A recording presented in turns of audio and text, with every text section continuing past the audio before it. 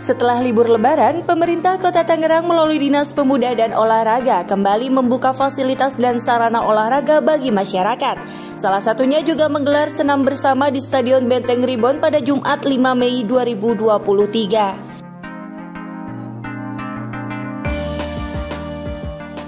Hari ini kita sudah ribon kembali setelah liburan panjang lebaran.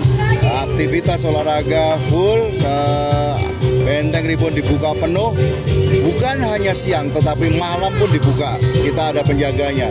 Untuk senam setiap Jumat kita siapkan uh, guru senam, instrukturnya uh, untuk masyarakat yang ingin senam bersama. Walaupun kita juga akan turun di masyarakat beberapa RW untuk memasyarakatkan olahraga dan mengolahragakan masyarakat.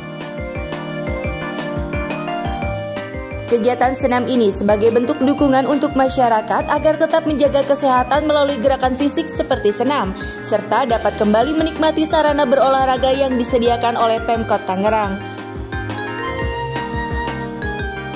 olahraga untuk sehat, sehat itu investasi. Kami mengajak seluruh elemen masyarakat, ayo berolahraga.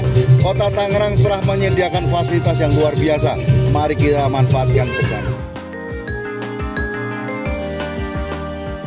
Sementara itu, masyarakat yang datang mengikuti senam bersama ini sangat senang bisa mengikuti olahraga senam ini secara gratis.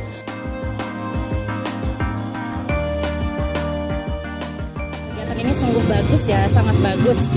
Uh, ini itu mewakili kita itu uh, sehat berjamaah ya, berjamaah.